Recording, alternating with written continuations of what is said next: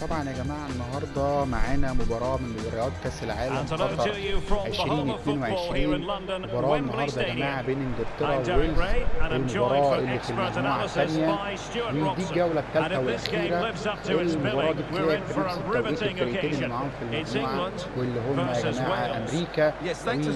وايران طبعا يا جماعة المباراتين بيتلعبوا الساعة 9 بالليل بتوقيت مصر 10 بتوقيت قطر. وكمان النهارده بنلعب على استاد السمامة اللي في مدينة الدوحة اللي بيشيل 40000 متفرج الاستاد التحفة العظيم يا جماعة. وإحنا بنحيي قطر بصراحة على التنظيم الرائع اللي هم بينظموه. وخلاص يا جماعة إحنا في الجولة الثالثه والأخيرة في المجموعات وتقريبا كأس العالم بدأ إن هو يخش في التصفيات والنهائيات طبعا يا جماعة النهارده إحنا آه بنلعب بالفريق الإنجليزي. مش بنلعب بالفريق الويلزي وعموما يعني اللي إحنا بنعمله يا جماعة هي محاكاة لمباريات كأس العالم الحقيقية عن طريق لعبها على البلاي ستيشن سواء 4 أو 5 سواء كانت PES أو فيفا سواء كان تعليق عربي أو إنجليزي سواء 20 21 22 23 ايا كان. فاحنا النهارده يا جماعة معانا ولكن فيفا 22 تعليق إنجليزي. تشكيل المنتخب الانجليزي قدامنا بيلعبوا بطريقة 4 3 3 طبعا يا جماعة أنا في الطبيعي لما بيكون في فريق عربي بلعب بالفريق العربي مفيش فريق عربي بياخد فريق أفريقي مفيش فريق أفريقي بياخد شرق اوسطي أو أي فريق أنا بميل ليه. طبعا النهارده بصراحة خدت المنتخب الإنجليزي قلت العب بيه قصاد المنتخب الويلزي رغم إن المنتخب أقوى من المنتخب الويلزي ولكن أنا حبيت ان أنا العب بيه. طبعا النهارده المنتخب الإنجليزي يا جماعة بالزي التقليدي بتاعه اللي هو التيشيرت الأبيض والشورت الكحلي والشراب الأبيض الزي التقليدي الخالص والمنتخب الويلزي يا جماعة معانا أهو بالتيشيرت التقليدي بتاعهم الأحمر الكامل سواء كان تيشيرت أو شورت أو شراب. وأدي تشكيل المنتخب الويلزي بيلعبوا بطريقة 4 2 3 1 إن شاء الله تبقى مباراة جميلة. وزي ما اتفقنا بيلعبوا في نفس التوقيت آه، المنتخب الايراني والمنتخب الأمريكي. وهنشوف يا جماعة المباريات دي هتسفر عن إيه؟ ومين اللي هيترشح أول ومين هيترشح تاني؟ الفرق كلها عندها فرصة إن هي تتأهل ودي حلاوة المجموعة الثانية يا جماعة في مباريات كأس العالم قطر 2022 الكأس العظيم اللي قطر شرفتنا بالتنظيم وبالاستادات وبالفنادق الجميلة. بدأ المنتخب الويلزي اللي بيلعب على ايدينا اليمين يسنتر وبيبدا الهجمه المنتخب الإنجليزي معانا على الشمال. ومعاهم الكوره بيحاول المنتخب الإنجليزي إن هو يخطف الكوره لسه الكوره مع منتخب ويلز اللي عايزين يعملوا هجمة بس عن طريق الأطراف اتقطعت للمنتخب الإنجليزي. المنتخب الإنجليزي بيجري وبيحاول لعبها. حلوة جدا رحيم ستيرلينج لكن قطعها المنتخب الويلزي والكورة جميلة لسه مع إنجلترا وبيلعبها لزميله وقراها المنتخب الويلزي ولكن مرة أخرى مع المنتخب الإنجليزي اللي داخل على الجون وبيشوط كورة حلوة جدا بتخبط وترد ولسه الكورة مع إنجلترا. وهل هدف أول؟ أوبا! هدف أول إنجليزي. يا سلام. في الدقيقة سبعة لسه بنتكلم وبنحكي وبنقول تفاصيلنا ومعلوماتنا عن الكاس وعن الفرقتين وعن التاريخ.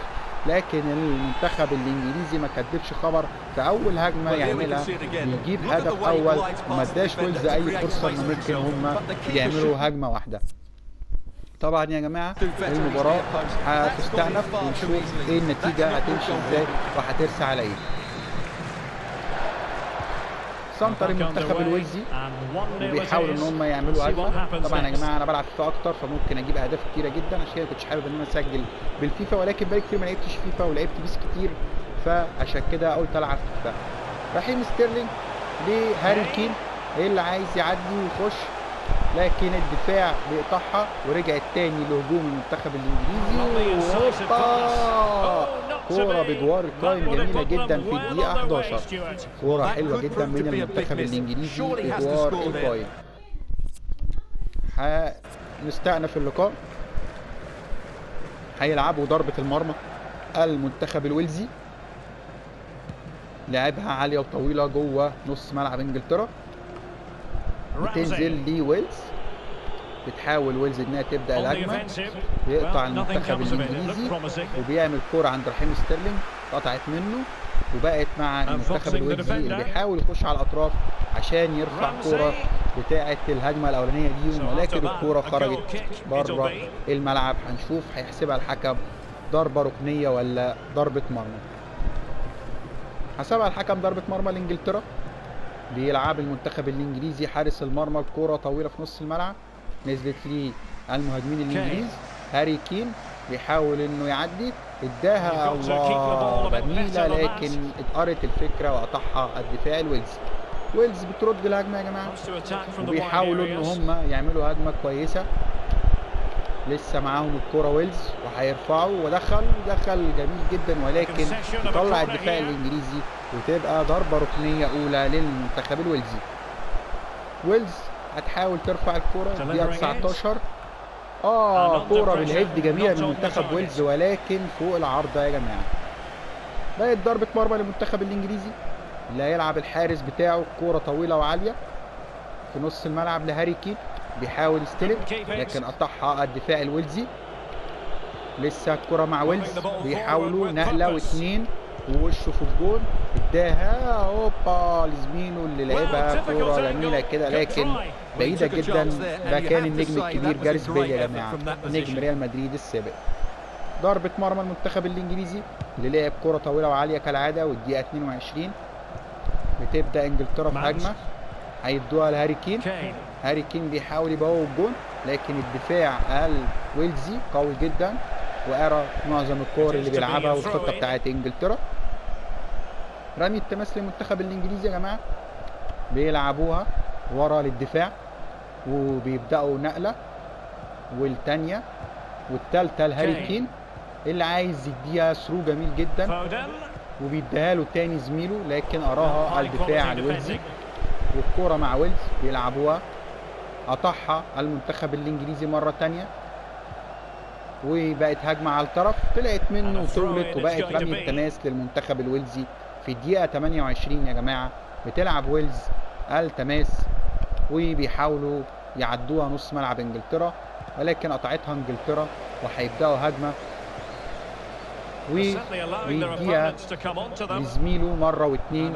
قطعت لمنتخب ويلز اللي بيحاول يبدأ هجمة سريعة وحلوة الكورة دي ممكن نشوف خطورة على المنتخب الإنجليزي. ولكن الدفاع كان لها بالمرصاد وترد تاني. للهجوم الويلزي اللي بيحاول إن هو يعمل هجمة والحارس الإنجليزي بيخلص المباراة. الكورة في الدقيقة 32 وهيلعبها ايده ولا رجل طويلة جوه في نص الملعب عشان. توصل لرحيم ستيرلينج اللي ما عرفش ياخدها.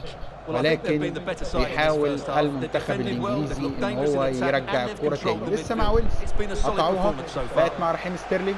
بيجري بسرعة جدا عايز يدي هاري كين يبوظ الجون أراها على المدافع الويلزي اللي ردها في نص ملعب إنجلترا. ولكن إنجلترا قطعت تاني يا جماعة وداخلين نص الملعب. ولعبها لهاري كين بس بعيدة. قطعها هاري كين. هو الجون خطر جدا. هو الجون هو الجون وهيعمل إيه؟ يا خبر أبيض. بيشوطها في ايد حارس مرمى ويلز. And thumped كوره away. غريبة جدا وبيخلصها الدفاع. وبيحاولوا إن هم يبداوا هجمه ولكن ضغط إنجليزي جميل من نص الملعب. والدقيقة تاني لهاري كين اللي بيحاول يقطع الكورة اللي ضاعت منه ولكن لسه كورة مع ويلز. دخلوا عليه اللعيبة الإنجليز. لسه برضه محتفظين بالكوره منتخب ويلز. وعايزين? يعملوا هجمة كويسة. Their المنتخب الإنجليزي. قطعوا تاني. لعبها جميلة. لسه الكوره رايحة وجاية بين ويلز وانجلترا في نص الملعب. الكوره حاليا مع ويلز. طبعا يا جماعة في نفس التوقيت بيتلعب اللقاء الثاني في المجموعة. الساعة 9 بتوقيت مصر و10 بتوقيت قطر. النجم هاري كين هرب وفات هيديها لرحيم ستيرلينج. اتقطعت منه لكن رحيم ستيرلينج لقاها قدامه وهيعمل إيه؟ رحيم ستيرلينج. وشوطة جميلة وبيرد هاري كين. يا خبر أبيض. كورة جميلة وهجمة خطر. جدا. ودي وقت بدل ضايع يا جماعة. وخلصت وبيصفر الحكم بانتهاء الشوط الأول بتقدم المنتخب الإنجليزي 1-0 على المنتخب الويلزي. وهنشوف يا جماعة الشوط الثاني هيسفر عن إيه اللي احرز الهدف رقم 20 هنشوف الشوط الثاني يا جماعة. إيه اللي هيتم وإيه اللي هيحصل؟ هل أمريكا تعزز هل إنجلترا تعزز الفوز أم منتخب ويلز ليه كلام تاني ورأي آخر؟ المنتخب الإنجليزي بقى على ايدينا اليمين؟ والمنتخب الويلزي بقى على ايدينا الشمال؟ وويلز بتحاول إنها تاخد الكوره من إنجلترا اللي سنطرت وحاولوا إن هم يبدأوا هجمة. كوره مع هاري كين اللي لقى نفسه هو الجون هو الجون هيحرز هدف ولا هيعمل إيه؟ يا سلام على الحارس الويلزي والله يا جماعة شايل أكتر من كوره هدف محقق جدا من المنتخب الإنجليزي والهدف اللي دخل فيه والله مش غلطته. كورة مع ويلز طلعوها بره خالص. هتبقى رمي التماس للمنتخب الإنجليزي. فعلا رمي التماس للمنتخب الإنجليزي اللي لعبوا الكرة على طول وبيحاولوا إن هم يبدأوا هجمة ناحية. هاري كين. اللي اداها لزميله وهيديها لرحيم ستيرلينج اللي فعلا وصلت له الكورة رغم إنها اتقطعت ولعبها له تاني through جميل جدا. وهيرفع لهاري كين للأسف. بيخلص الدفاع الويلزي اللي بيعمل نقلة واتنين وبيحاولوا إن هم يعملوا هجمة على المنتخب perfectly الإنجليزي timed ناحية. الأطراف كورة خطر جدا من نجم جاريس بيل لكن رجعها بطريقة غريبة. جدا في نص ملعبه لسه. الكورة مع ويلز هيحاول يشوط احتك وخبط واصطدم. بالدفاع الإنجليزي الجميل لسه الكرة مع ويلز وشاط كرة Oh, mark. ولكن خارج الملعب هنشوف the هي خرجت من? الملعب ولا خبطت. في. المدافع الإنجليزي هيبان لكن هو اللي طلعها وبقت ضربة مرمى للمنتخب الإنجليزي لعبها مش قوية قوي ولا ضعيفة قوي حاجة في الوسط بقت مع هاري كين. اللي بيديها لزميله اللي قراها الدفاع الويلزي really. الكورة وبيحاولوا يعملوا هجمة ناحية الأطراف. الكرة لسه مع إنجلترا. بيحاولوا يا جماعة إن هم يعملوا هجمة تانية. Kane. الكرة مع هاري كين. اللي هيرفع؟ رفعها. يا سلام على الدفاع. الويلزي اللي قاري الكورة بشكل جميل جدا ويخلص هجمة خطرة جدا من أخطر الهجمات للمنتخب الإنجليزي في can. منتخب ويلز قطعت الكرة منه رحيم back. رقص حلوة good جدا وداخل وداخل وداخل قرب قوي من الجون وطلعت منه طلعت منه غريبة kick. جدا الدقيقة 63 يا جماعة لسه المباراة يعتبر سيام مفيش خطورة غير للمنتخب الإنجليزي في هجمة أو اتنين وهدف وحيد أحرز للمنتخب الإنجليزي. المنتخب الويلزي ما عملش برضه غير هجمة أو اتنين مش خطر. الكورة في نص الملعب مع المنتخب الويلزي اللي بيحاول يبدأ هجمة ناحية الأطراف. James. قطعوها المنتخب occasion. ونقلة والتانية هتوصل لهاري كين اللي ممكن ينفرد. هاري كين فعلا انفرد. انفرد. المرة دي هيجيب جون ولا إيه؟ المرة دي هيجيب جون ولا إيه؟ الله! الهدف الثاني للمنتخب الإنجليزي هاري كين في الدقيقة 66 يا سلام يا هاري كين اللاعب رقم تسعة نجم الدوري الإنجليزي ونجم توتنهام وهداف الدوري الإنجليزي ويحرز الهدف الثاني للمنتخب الإنجليزي عشان ينهي المباراة اكلينيكيا في الدقيقة 66 ويخلي المنتخب الويلزي ما يفكرش إن هو يعمل أي حاجة. كرة مع ويلز بعد ما سنطروا اتقطعت منهم المنتخب الإنجليزي والكرة مع هاري كين اللي بيلعبها لزميله اللي ممكن ينفرد. الله انفرد انفرد انفرد. هيعمل إيه؟ هيعمل إيه؟ لعبة ضعيفة وهوبا هدف ثالث بعديها بدقيقة. يا سلام. أو دقيقتين يا جماعة. الدقيقة 68 إنجلترا بتحرز الهدف الثالث عشان تنهي المباراة نهائيا. يا سلام. كورة غريبة من الحارس اللي خبطت فيه وتردد في الدفاع وكورة رايحة وجاية غريبة قدر يستغلها المهاجم الإنجليزي. وشاط الكرة ردت وخدها بعد كده من الحارس وقدر إنه يحرز الهدف الثالث لمنتخب إنجلترا والهدف الأول ليه. تبديل لويلز نزل 18 وطلع رقم 20 حاول ويلز إن هي تلم أي حاجة. بيسنطروا وبيرجعوا للدفاع. وبيحاولوا يبدأوا. هجمة ولكن المنتخب الإنجليزي يحاول يضغط ويفسد الهجمة من أولها نقلة للمنتخب الويلزي. داخل لعيب ويلز اللي عمال يعدي بطريقة جميلة جدا وشكله هيبقى هو والجون وفعلا بقى هو والجون وشاطها وردت. يا سلام على الحارس الإنجليزي اللي قدر يضيع فرصة كبيرة جدا على منتخب الويلزي وينقذ المنتخب الإنجليزي من هدف أول. كان ممكن يقرب الفارق شوية ويدي أمل لمنتخب ويلز. رمي التماس لمنتخب الويلزي اللي معاهم النجم الكبير جاريث بيل. بتحاول إنجلترا إن هي تخلص المباراة. ويلز قطعوا الكرة لكن لسه مع إنجلترا. إنجلترا عملت هجمة جميلة جدا بقى هو والجون. بنقلة واحدة بقى هو والجون. حاجة جميلة جميلة جميلة. ووبا يا خبر أبيض على القائم. الكورة رنت رنة جامدة جدا. يا سلام! مباراة شيقة وجميلة. بقت كورنر للمنتخب الإنجليزي. اللي رفع الكرة حلوة جدا. لكن في متناول حارس ويلز اللي مسك الكرة وهنشوف هيلعبها طويلة وعالية فعلا في نص ملعب إنجلترا ولكن بقت من نصيب المنتخب الإنجليزي. بترقص الكرة جميلة جدا.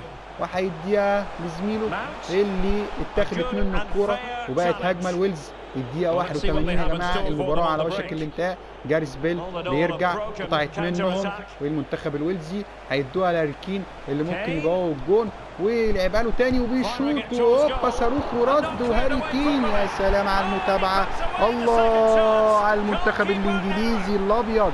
وهم بيقولوا لنا يا جماعة مش كفاية مرة هناخد كأس العالم تاني. يا سلام. إنجليزي وأبيض مش كفاية مرة. هناخد كأس العالم تاني. جميلة جدا الكورة. لعبها هاري كين زميله اللي شاط على طول صدها حارس المرمى تابع هاري كين. وكان فعلا هدف رائع النتيجه 4-0 ومنتخب ويلز بيسنتر. وبيرجع بالهجمة لورا عشان يحاولوا يلاقوا ثغرة. ولكن هاري كين مش ساكت بيحاول. اداها لزميله بعيدة جدا للدفاع الويلزي الدقيقه 85 خمس دقائق تفصلنا عن المباراة وهنشوف الحكم هيحسب وقت بدل ضايع قد إيه. ولكن أقدر أقول لكم الف مبروك لأمريكا. الصعود للدور القادم وقدر إن هم يفوزوا بالمباراة ديت رغم ان لسه فاضل بتاع حوالي 3 دقائق لكن خلاص 4-0 صعب التعويض. وهاري كين اللي اتحسبت عليه تقريبا offside فعلا offside هيلعبها المنتخب الويلزي لعبوها ردت مع انجلترا وهاري كين الله يا هاري يا كين لعبها لزميله المهاجم اللي بيحاول إن هو يعدي. الله جميلة جميلة جميلة الكورة دي. ولكن الحكم يا ترى يحسبها إيه؟ هنشوف يا جماعة الحكم حسبها فاول. حسبها فاول لإنجلترا. هيرفعوا الكورة دي رفعوها. لكن الدفاع الويلزي قدر إن هو يخلص الكوره بطريقة جميلة جدا. لسه والله اتقطعت تاني وبقت مع إنجلترا. اللي بيحاولوا لكن ويلز قطعت. ثلاث دقايق وقت بدل ضايع بنلعب في أول دقيقة. وهنقول ألف مبروك دلوقتي لإنجلترا يا جماعة. الثلاث نقط والفوز والصعود. نجم جاريس بيل بيحاول يبدأ حتى هجمة واحدة. ما شفناش ولا هجمة خطر يا جماعة على المنتخب الإنجليزي من ويلز. يصفر الحكم في انتهاء المباراة. بفوز المنتخب الإنجليزي مباراه جميلة جدا مباراة عظيمة جدا. فعلا أنا اتبسطت جدا إن أنا كنت معاكم. وإلى اللقاء وأشوفكم إن شاء الله في مباراة قادمة بإذن الله.